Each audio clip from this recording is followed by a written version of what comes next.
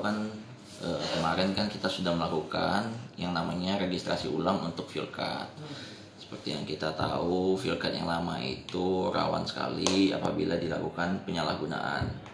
Jadi satu orang itu bisa mempunyai lebih dari satu card yang mana itu tidak diperbolehkan. Kemudian card itu juga dia kan berlaku seumur hidup. Jadi satu kartu itu berlaku bisa seumur hidup. Jadi dia tidak ada masa berlaku. Mau mobilnya sudah hilang, mau mobilnya sudah sudah tidak ada lagi, tapi kartunya masih bisa dipergunakan.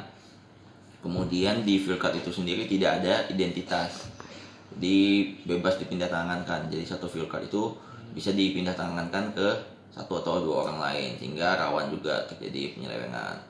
Maka dari itu eh, dari pemerintah kota bersama dengan Pertamina bersama dengan Bank BRI kita melakukan registrasi ulang untuk eh, kartu kendali itu kartu card tersebut.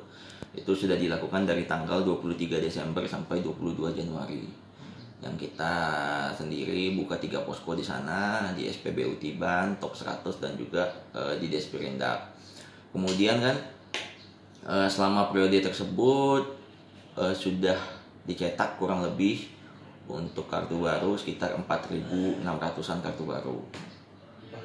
600an dan masih berjalan. Nah, kemudian berdasarkan hasil eh, koordinasi dengan pemerintah kota dalam hal ini di Sprindak kita memutuskan untuk eh, per tanggal 17 Februari 2020 di SPBU sudah tidak bisa lagi melayani uh, yang lama. yang lama. Ya, jadi karena eh, sekarang kan sudah berjalan, apabila kita masih melayani card yang lama, takutnya nanti malah eh, tujuan utama kita untuk mengendalikan BBM jenis subsidi ini malah tidak tercapai karena kartu yang lama masih dipakai dan juga kartu yang baru sudah beredar. Kemudian juga per tanggal 1 Maret 2020 kartu yang lama tersebut akan kami ajukan untuk diblokir oleh Bank BRI.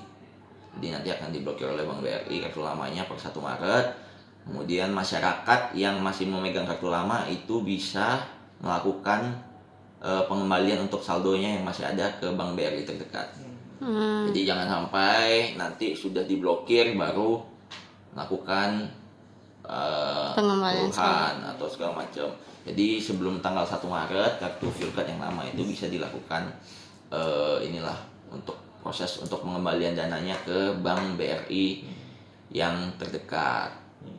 Kemudian juga untuk eh, masyarakat yang belum sempat atau belum eh, kemarin belum melakukan registrasi ulang, kelewatan atau apa, kita juga melakukan bisa melakukan registrasi ulang atau permohonan kartu baru itu di website melalui website nih